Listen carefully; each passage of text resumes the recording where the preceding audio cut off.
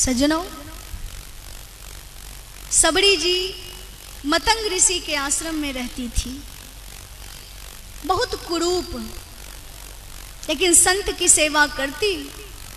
उनके गुरु मतंग जी ने कहा था, सबड़ी, तुम आश्रम में इंतज़ार करना, एक दिन भगवान तुम्हारे यहाँ ज़रूर आएँगे। एक दिन सबड़ी जी ज़मीन में झाड़ू लगा रही थी, रास्ता साफ़ कर रही थी।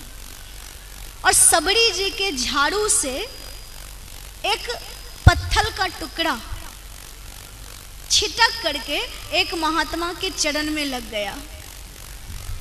महात्मा जी सबरी जी को खूब डांटने लगे कि अपवित्र सबरी मेरा स्पर्श कर दी। सबरी जी रोने लगी। महात्मा जी सबरी को डांट के जब पंपा सरोवर में स्नान करने गए तो संत और भक्त के अपराध के कारण पंपा सरोवर का जल गंदा हो गया। उसमें कीड़े पड़ गए। लेकिन महात्माओं ने सोचा कि नीच जाति का स्पर्श हो गया, इसलिए गंदा जल हो गया।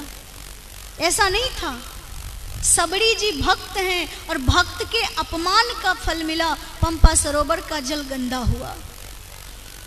लेकिन जब श्री राम आए सबड़ी माँ के आश्रम में बेड़ खाए, नवधा भक्ति का उपदेश दिए। उसके बाद महात्माओं ने कहा, महाराज, पंपा सरोवर का जल गंदा हो गया है, उसको साफ़ कर दीजिए। राम जी ने कहा, हम क्या करें? कहा, आप भगवान हैं, कुछ करिए। भगवान श्री राम कहते हैं, चलिए प्रयास करेंगे। भगवान श्री राम पंपा सरोवर में पहुँचे सज्जनों, लेकिन जैसे ही अपने चरण को पंपा सरोवर के जल में दिया तो जल साफ़ होने के बजाय और ज़्यादा गंदा हो गया। छोटे छोटे कीड़े बड़े बड़े हो गए। ऋषियों ने कहा, जल कैसे साफ़ हो? राम जी ने कहा, जब सबरी माँ का चरण पंपा सरोवर के जल में पड़ेगा, तब जल बिल्कुल शुद्ध हो जाएगा।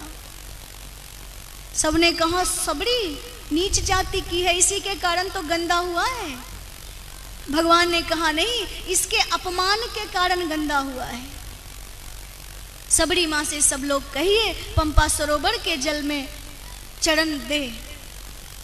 ऋषियों ने निवेदन किया सबरी माँ ने जैसे ही चरण रखा पंपा सरोवर का पूरा जल स्वच्छ हो गया। बोलिए सबरी माता की। जय। सबड़ी माता की। जय।